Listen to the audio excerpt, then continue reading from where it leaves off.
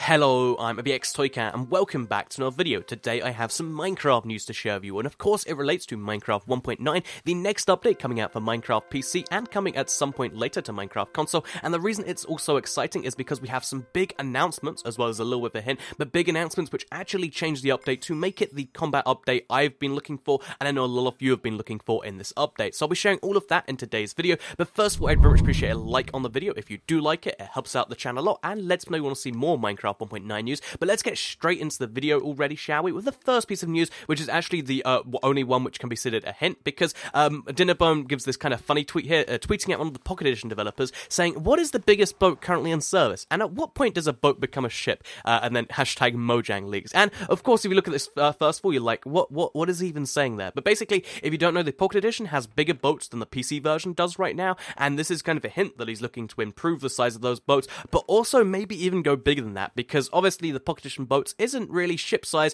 but maybe, you know, the PC version can have the PC types of boats, the Pocket Edition boats, and maybe a boat size even bigger. Maybe this would be called a ship. And uh, if you wonder what a real life ship is actually defined by, I think it has to be a certain, you know, tonnage, and it has to also have lifeboats. So I don't imagine we're actually going to get real life ships because that'd be like a 50 by 50 block. However, I think a bigger boat is something that is strongly hinted at here, or at least changes to the boat system in general, and it's kind of a funny way to announce it, in my opinion, just indirectly tweet one of the other developers of the game. Uh, so yeah, that is uh, the first piece of news here. Moving on to the second piece. Uh, again, we've got to go quite fast through this because we've got lots of news to share. Uh, the second piece is again from Dinnerbone. Almost all news seems to come from him these days. Uh, and basically, uh, he tweets out saying that player collision will be returning to Minecraft. This is big. it hasn't been in the game for many, many updates now because you know it was it, it was a far back feature that they decided to remove because it annoyed a lot of people. But they're deciding to bring it back. And with that to kind of announce it, we have this gift just showing off that, as you can see, that's Alex that's being moved by Dinnerbone right here. So you can actually move other players out of the Minecraft 1.9 update. Whether that makes it to the full release or whether they decide to cut it in the end is still something that could happen.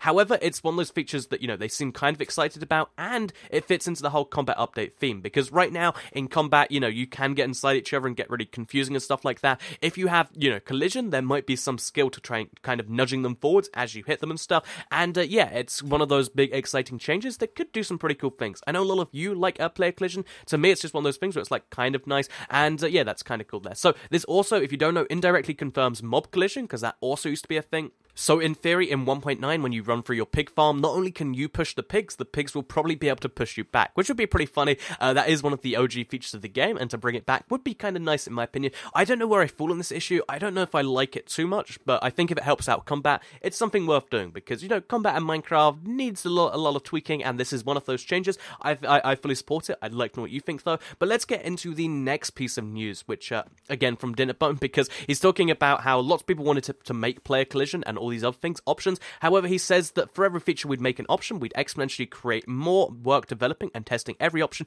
with and against every other option. So that's why we didn't make things an option just because people don't like it. So basically, he's saying that you won't have the option for most things like this because they could make the new combat system an option. They could make, you know, player collision an option, but bug testing all of that basically is saying would take so much effort and it wouldn't really provide too much because most people learn to love something after they give it a little bit of a try, or at least learn to live with it. So, yeah, for the most part, these things won't be options in the game, uh, which is kind of an interesting little thing right there. But I just thought it was worth pointing out because so many people are saying just leave it as an option and everyone's happy. But unfortunately, that is not a correct uh, solution to things. So, next up, we have uh, again Dinnerbone. This is the last piece of Dinnerbone news, but it is kind of a cool one because he says, Oh no, I've had a terrible accident, and this was just yesterday. And um, then, of course, uh, tweets out this image alongside it in case uh, you can't work out what's happening there. On the left, you can see he's hooked a player, and on the right, you can see the player's generally hooked. So, what this seems to indicate to me is because right now, a lot of people think that in the base game Minecraft, you can actually uh, throw snowballs, eggs, and fishing rods into 12 players, and it will actually hook them. However, it doesn't actually work. It's actually a plugin that most servers use. So, when you do PvP,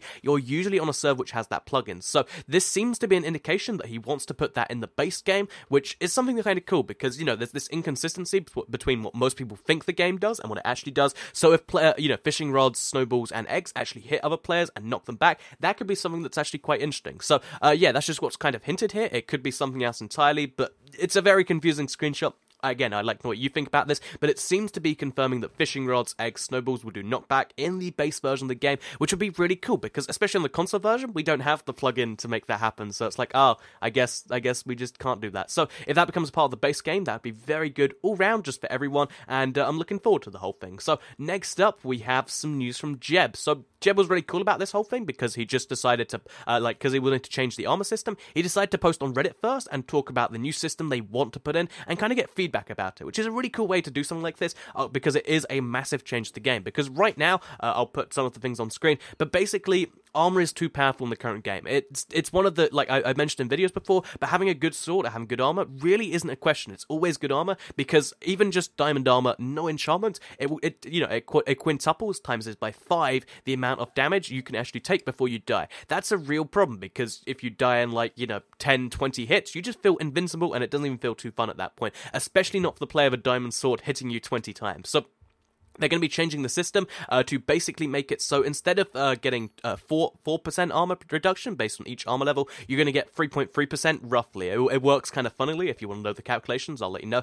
But basically, each level of armor is going to become slightly weaker. So instead of the max protection being 80%, the max protection is going to be 66%, meaning instead of being able to take 5 times as many hits, you can take 3 times as many hits. And also, they're going to change the system a little bit. So basically, in the new system, uh, someone who doesn't have armor isn't going to be entirely destroyed against someone who has armor, it's going to be more of a fair fight. Armor's still going to be pretty strong because two to three times damage reduction is still a really big deal. Like, uh, it means that you'll you'll still lose someone with a better weapon than you, but you if you have the same weapon, you're still going to win 80, 90% of fights if you can't, if like, assuming they, you know, can't actually keep outskilling you. So yeah, it's going to be really, really interesting. And the big thing to me that he noticed, uh, or noted, was actually to enchantments, because right now, protection and sharpness are so vital to PvP. They're very, very powerful. And it means that if you have protection for armor on all of your diamond armor, it means you take 96% reduced damage. That means you can take so many pieces of damage and it just does nothing to you. And it means you have to have sharpness just to counter, you know, protection. And it's an arms race that really benefits no one because it means if you don't have, uh, you know, enchantments, then you can't compete in the PvP. And that's just not fun for anyone. So basically, they're going to be nerfing both sharpness and protection. Sharpness goes from being 1.25, 2.50, etc. damage to being 1.0, 1.5 to 2.5. So it's maximum, uh, you know, sharpness 5 is going down from 5 extra damage on top of the 7 from your sword, I think it is, up to 2.5 on top of your sword. So it's a nice bonus, but it's not going to be required. And the same is going to go for protection.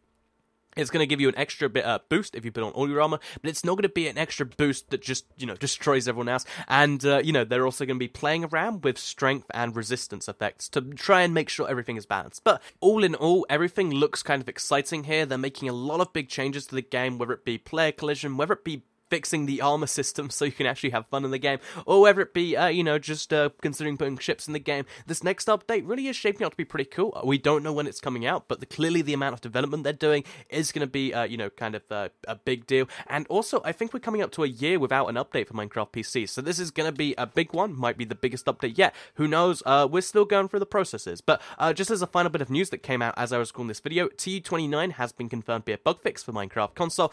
just in case you do care about that. So so thank you all for watching the video. Uh, like it if you did like it, share it if you really liked it, and subscribe if you're new around here. I make videos like this every single day on my channel, and if you subscribe, you'll see them daily on your homepage. Thank you all for watching, and goodbye.